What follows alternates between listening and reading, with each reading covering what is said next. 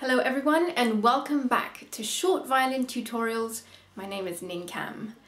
Now today we're going to continue talking about sound production, tone production, but instead of speaking about the right hand, we're going to talk about the left hand. Some of you might be thinking, what does the left hand have to do with tone production? It has a lot to do, let me show you. Some of you might think that playing with sort of fat, fleshy, fingers would give you a warm fat sound. Let me show you what it gives you. It's actually giving you a very unfocused sound. Let me show you.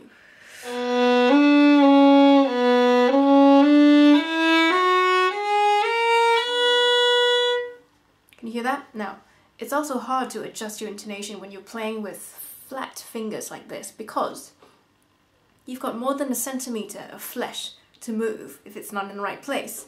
Now, when I used to study with the great Donald Weilerstein, he would always tell me, play on the left side of your finger, sort of closer to your fingertip now. If I just stick it on there like this, you can actually see where the string line meets my fingers.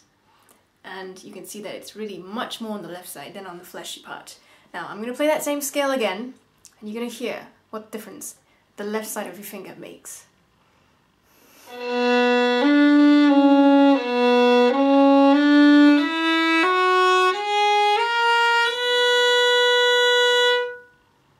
you hear the difference?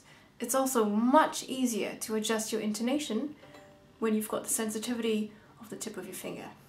Alright, so enjoy practicing and working on the left side of your finger. See you next time on the next tutorial.